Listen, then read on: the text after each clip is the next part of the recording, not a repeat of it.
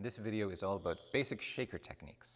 So let's get started with a simple wooden cylinder type shaker.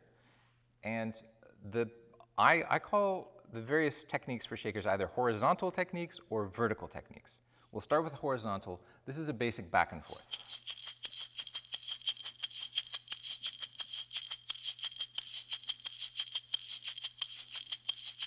So this looks very easy when you see people do it, and when you pick up the shaker yourself, you realize there's a bit more to it. I'm going to turn to the side. You can see this motion. The goal for me when I'm playing this type of back and forth is to keep the shaker as parallel to the ground as possible. It will be, you know, it will have a slight curve, but the idea is to keep the shaky material going back and forth and shaker players need to learn to defy gravity just a little bit. Whatever's inside this, there are little metal beads in here, gravity wants to pull that down to the earth. So your job as a shaker player is to resist that and to defy gravity just a bit, to keep the material going on a horizontal, back and forth. Here's some what I would call slightly less successful variations on the back and forth technique. And these are things to, in my opinion, avoid. One is moving just from the wrist.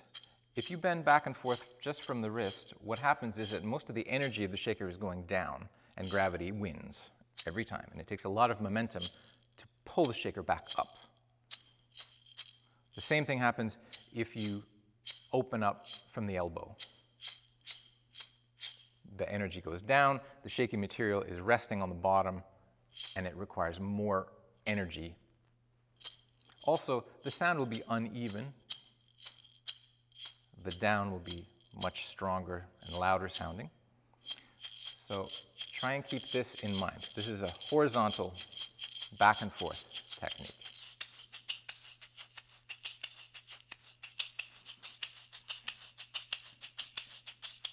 Now let's try the back and forth on some different types of shakers so you can see what it's like. We get the egg, because it's so quiet, let's try two eggs.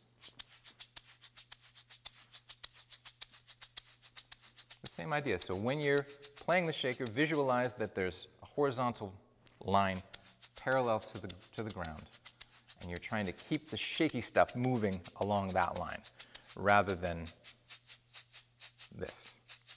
Okay? Let's try the tube. Now, if you have a larger tube shaker, one of the first things you have to do is to balance the shaky stuff. If all the shaky stuff is in one end of the tube, it feels very strange and you don't get a, a good sound. So shake it back and forth till you balance that. And then you can get a nice clean back and forth.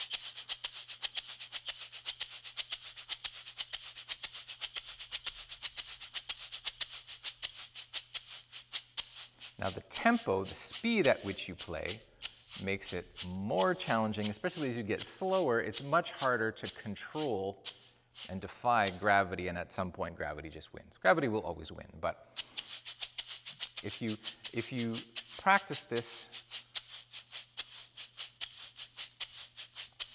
you can get a nice smooth timekeeping shaker pattern. Let's try it with the bean pod.